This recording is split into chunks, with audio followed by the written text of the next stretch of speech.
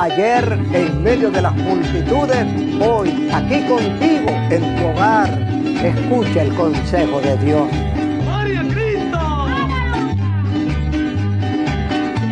En Efesios 2.20, el apóstol Pablo dijo, edificado sobre el fundamento de los apóstoles y profetas, siendo la principal piedra del ángulo Jesucristo mismo. Usted no puede basar su fe en argumentos, en libros, en Martín Lutero, en Billy Graham, en Gigi Ávila, en el hermano Puerta, edificado sobre el fundamento de los apóstoles y profetas. Ese fundamento se llama Jesucristo, la piedra principal del ángulo, la piedra eh, desechada por los edificadores, ha venido a ser la piedra principal. Edifícate sobre el fundamento de los profetas y de los apóstoles por medio de la palabra. Cuando lees la palabra, cuando meditas la palabra, te estás edificando en el fundamento verdadero.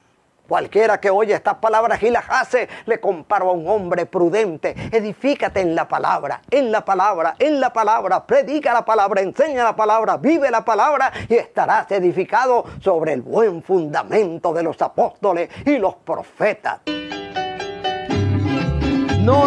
quebrado. Estamos disfrutando el descanso del guerrero. Mañana volverán las multitudes y serán diez veces mayores que antes.